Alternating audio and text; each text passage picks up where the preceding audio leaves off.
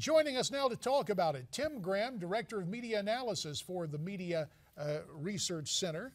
And it is so good to have you back with us, Tim. Uh, your take on Bridgegate and the scandal that wasn't. Well, we chronicled at Media Research Center that there were some 88 minutes of network news coverage in the first 48 hours. They this was they treated this story like Chris Christie had like been involved in a mass shooting. I mean, it was the amount of attention was so out of whack. You know, well, somebody in New Jersey got stuck on a bridge for an hour and a half. Um, how you can compare that to four Americans dying at Benghazi is bizarre, but that's the truth. Is it really got more attention? It was considered more of a scandal. Chris Matthews was comparing it to Watergate.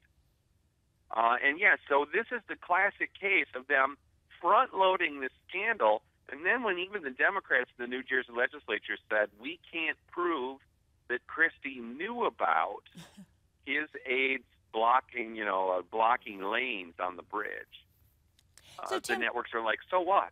You know, part of the scandal. Of how you get, yeah. Well, part of the scandal was the fact that they were saying, oh, is this political retaliation, that sort of thing.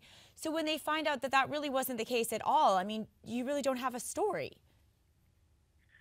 Yeah, you have political retaliation by Christie's aides. There was a traffic jam. We'll acknowledge that.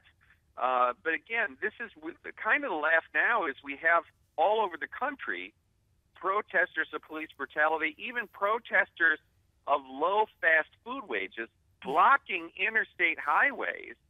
And somehow that is a good news story for the same news media. It's kind of mind boggling. And it, it uh, adds to the evidence that we really should not call the dominant media culture the mainstream media, but of course mm -hmm. the uh, left leaning media. Uh, there was another scandal involving another governor, uh, and that is Governor Cuomo of New York. But what kind of coverage did that get compared with the Chris Christie Bridgegate coverage?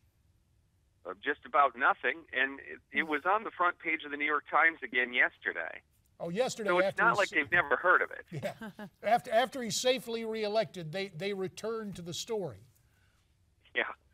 Well, again, almost no Americans would have any idea about that, and of course, you have a Cuomo anchoring the morning news at CNN, so you're certainly not going to hear about it over there. Hmm. There's about a minute left. Tim, we've known each other a long time in Washington. I, I talked about the House Republican Conference going on this morning.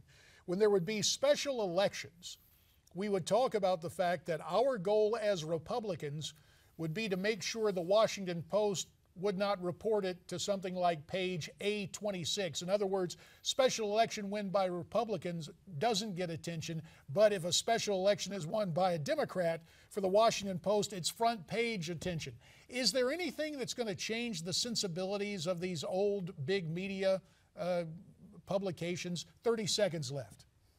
I don't think so. I think we could be referring here to Senator Landrieu losing her race over the weekend, which some of the networks have kind of barely noticed that it occurred. And that's because when the Democrats suggest something isn't news, surprisingly, the, the so called mainstream media has exactly the same idea. Fair enough. Tim Graham, we thank you for your time, and America's Forum will continue right after this.